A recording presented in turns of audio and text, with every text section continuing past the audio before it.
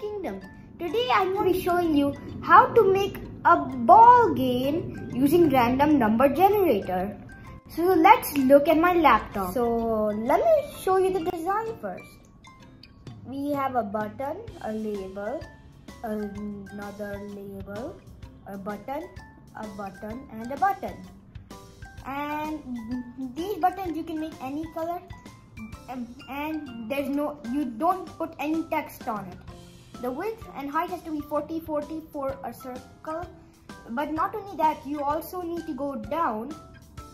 You need to go down and make the border radius 20 and the border width 0 to make a circle. And this you just put down by the text. Now I will show you the code. So here, there's no code, but I'm going to show you the code by making it. So first, we take an on event. The ID should be the button play or whatever ID you gave to your play button. Click it. And then you go to control, go down, get a time loop. And then change this to 2000 because remember 2000 milliseconds is 2 seconds. And if that's the case, then every 2 seconds something will happen. The thing in this time loop is going to happen every 2 seconds. Now we come here and we get set position. We take 3 set positions, 3 of them. And all of them have different IDs depending on these little circle buttons. Button blue, uh, button green, button red or whatever name you give them. Now I'll show you what to do next. Next up we go to math, then we get random number. We place them in the first two slots of all of these set positions. And we do it. We do it. We do it. Okay, I'm done. This these random numbers are the x value.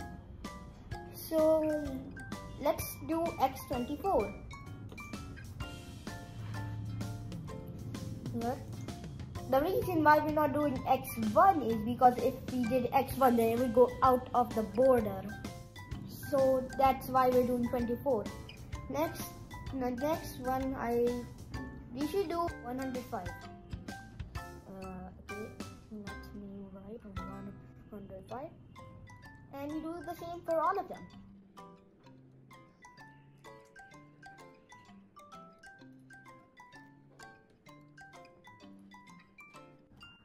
Okay, done, done with that. Now the y value. Now we look at uh, look here, and the y value this area should be 415. 415. 415. Not correct. 415. Now this, uh, let's check here. Um, I think we'll do uh, Y78 because we don't want it crashing into the labels and the buttons. Um, let me double check. Uh, let's do 78 actually. 78 78 78 for these we make them 40.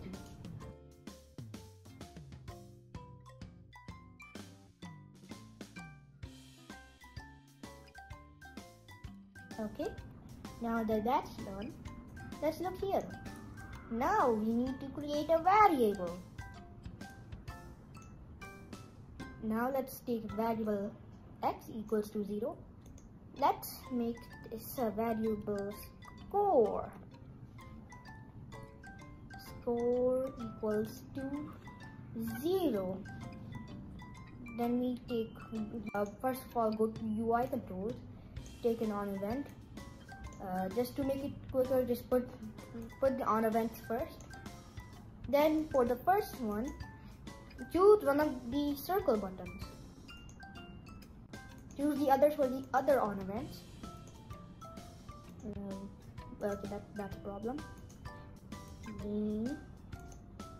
Red. Okay. Now we take go we go here.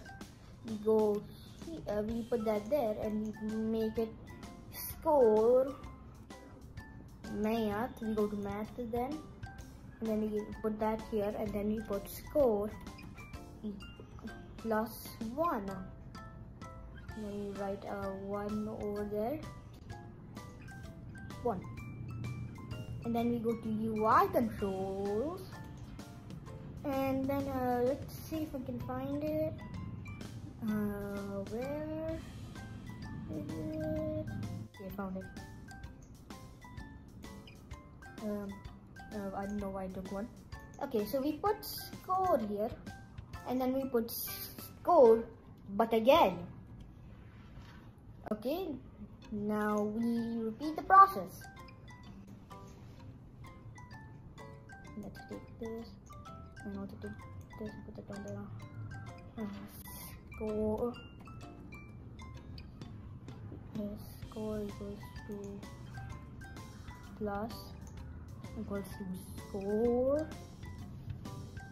score plus 1 and now the set number. There. Set number. Score. Score. Okay a score. Then we make this score. I've said score a lot in this video. Uh, it's a lot more than I've said. Usually, usually in my life. Equal, this equals to score plus one. Now we get a set number. Then make it score. Then make this score. And then your random ball game should work. Let's test it. Look at that score go up and every 2 seconds they change position. And that's how you make a random ball. Well, I hope everyone enjoyed that video. Hit that like button, hit that subscribe button. Don't forget to share the video and comment down below. And for now, goodbye.